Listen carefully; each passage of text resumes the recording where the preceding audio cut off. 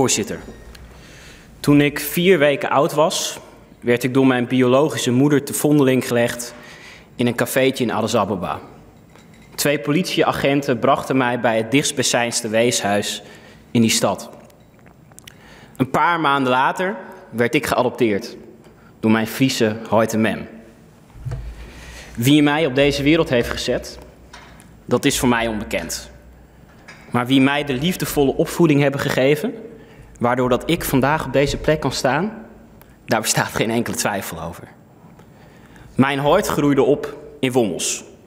Van jongs af aan hielpen mijn paken Daan op de boerderij. En op zijn 23ste nam hij de grootste verantwoordelijkheid van het bedrijf op zich. Nu 40 jaar later woont hij nog altijd met zijn grote liefde op de Zuidhoeken.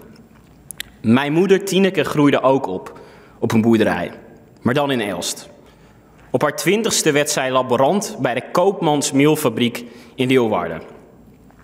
Toen ze een paar jaar geleden haar baan kwijtraakte, strookte ze haar mouw op en ging ze de schoolbanken weer in. Om nu een van de drijvende krachten op de revalidatie te zijn in Leeuwarden. En dat in coronatijd. Voorzitter, ik weet als hun zoon dat het krijgen en pakken van kansen niet onderdeel is van je DNA. Het gaat over datgene en diegene die je om je heen hebt. Daar gaat kansengelijkheid over. Kansengelijkheid gaat over veel meer dan geluk. Het gaat over wat je meekrijgt en wat je kan leren. Op school, om je heen, van ervaringen. Of de voetbaltrainer van je club in je dorp. Kansengelijkheid komt niet zomaar aanwaaien. We hebben als samenleving en als politiek de verantwoordelijkheid om die te organiseren voor ieder kind. Ervaringen opdoen, nieuwe dingen leren. En daarmee kansengelijkheid verder versterken. Dat past bij vrolijk, fijn en veilig onderwijs.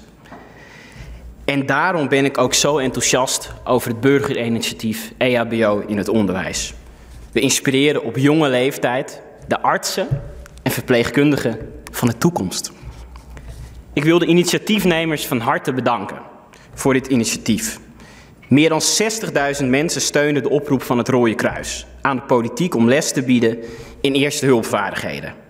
Kunnen reanimeren is van levensbelang. Het stelt mensen beter in staat om te durven ingrijpen wanneer iemand in hun omgeving een hartaanval of een epileptische aanval krijgt.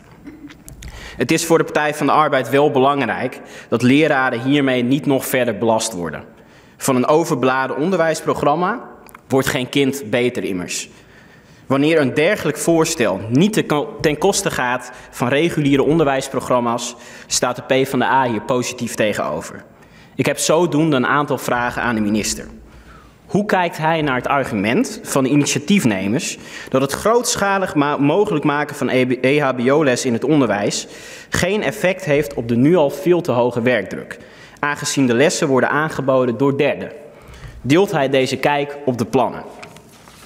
Ziet de minister mogelijkheden om het aanbod van EHBO te stimuleren vanwege de maatschappelijk toegevoegde waarde en de mogelijke gezondheidswinst die hiermee te behalen is?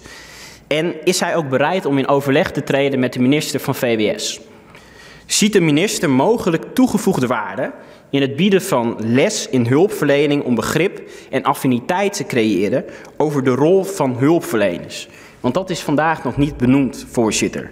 Ziet hij dit als een mogelijkheid geweld tegen hulpverleners in de toekomst te verminderen of verwacht hij daar geen verband? Voorzitter, het is een eer en het blijft een eer om hier de komende jaren te mogen staan.